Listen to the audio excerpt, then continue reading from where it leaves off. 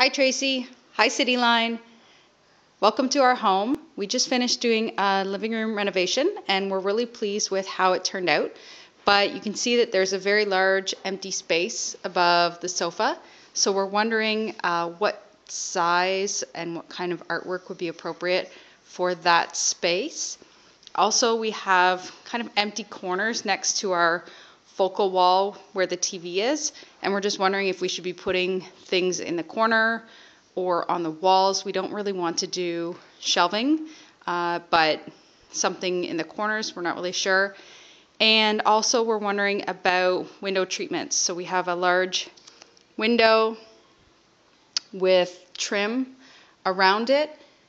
And uh, we wonder if there should be window treatments or no window treatments. You can see it's a really lovely day outside this winter.